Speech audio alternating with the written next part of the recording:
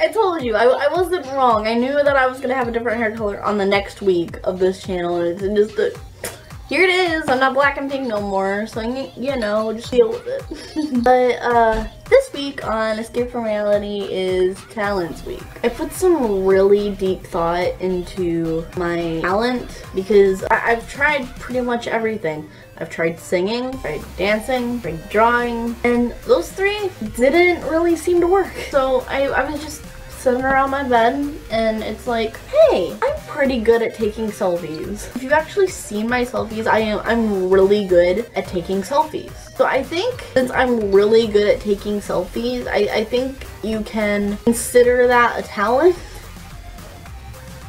Otherwise, I'm not talented, I have no talents, and I just, I, I don't fucking know. But let, let's take a selfie right now, because I have a problem. I'll just show you how good I am at taking selfies. Let's see, see.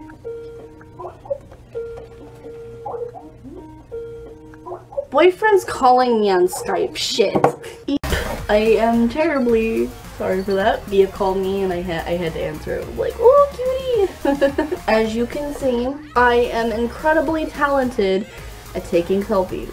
And now I am going to show you how you could be talented at taking selfies too. What you're gonna wanna do is you're want, going to want to have a semi good camera. Quality is key.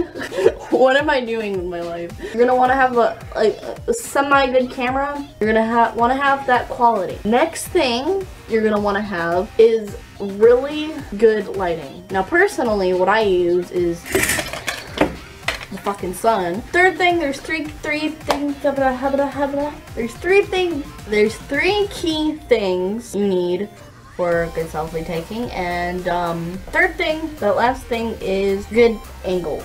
It's it's all about your quality, lighting, and angles. QLA.